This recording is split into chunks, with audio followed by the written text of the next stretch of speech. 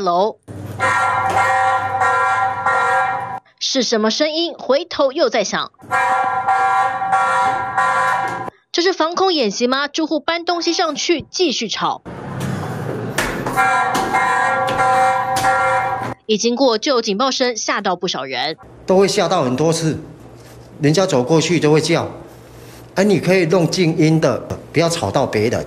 哦，他是故意的。住在新北市中和这间公寓四楼的男子指控，三楼装了这台监视器，还开警报声。当三楼对门的人回家或四楼的人经过，就开始叭叭叭，连二楼邻居也受不了，指控这声音从三月二十九号吵到四月没有停过。住户有一天走出门，没想到呢，楼梯才走到一半就听见这个声音，他还以为发生什么事，没想到抬头一看，竟然是他们的摄影机发出了警报声响。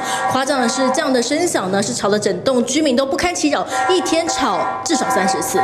走一次吵一次，居民报警求救。警察说他不受理，叫我们哎打环保局，环保局也不受理，说叫你们地方的警察来劝导。拿出报案截图，三月三十一号拨给中和元山派出所，又打到中和分局，三通报案却不见一个警察来关切，实际询问装监视器的住户。这警报在哪里响？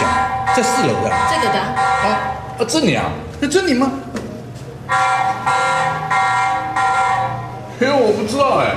环保局回应，警报声不是连续性噪音，不属噪音管制法范围，但还是会派人劝导居民，只希望相关单位别互踢皮球。